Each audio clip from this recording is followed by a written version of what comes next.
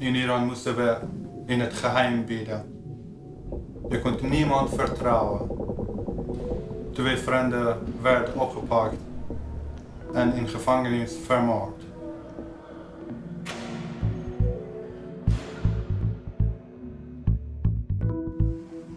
De eerste jaren in Nederland waren erg moeilijk.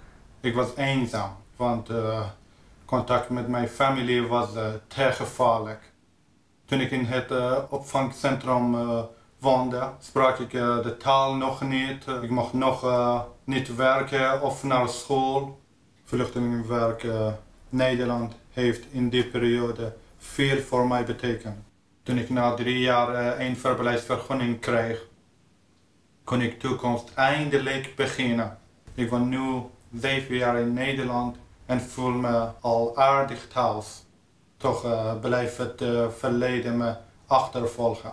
Dat ik niets van mijn familie weet. En ze weten ook niets van mij. Dat doet echt pijn.